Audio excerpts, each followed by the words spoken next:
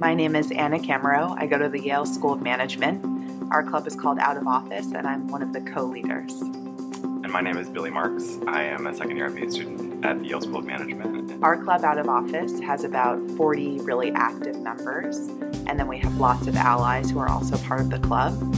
We have a really motivated mission. Our goal is to every year build the LGBT community and build allyship within the broader Yale SOM community.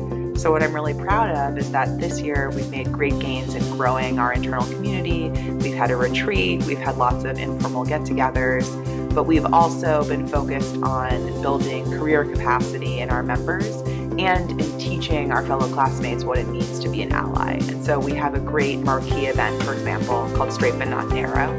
And that event presents skits that show workplace situations and help people understand okay, when I become the manager I'm going to be, how can I really show I'm an ally for LGBTQ individuals? Another thing that is a big priority for Out of Office this year is working with the other affinity groups on campus. Um, SOM is like a crazy diverse place. I mean, 50% of the students in our class are from out overseas.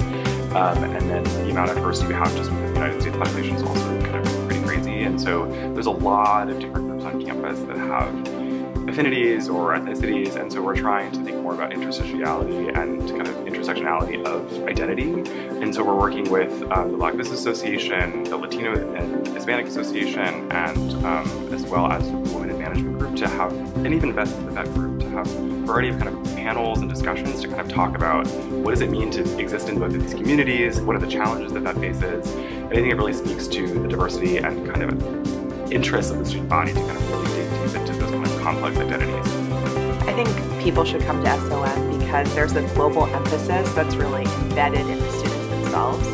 Um, we do have that 50% of the school that's international, but we also have a really diverse set of career experiences that people were involved in before they came to SOM and that they're looking to get involved in when they leave. And that, to me, makes the classroom experience so much richer and it makes uh, your learning outside the classroom richer as well.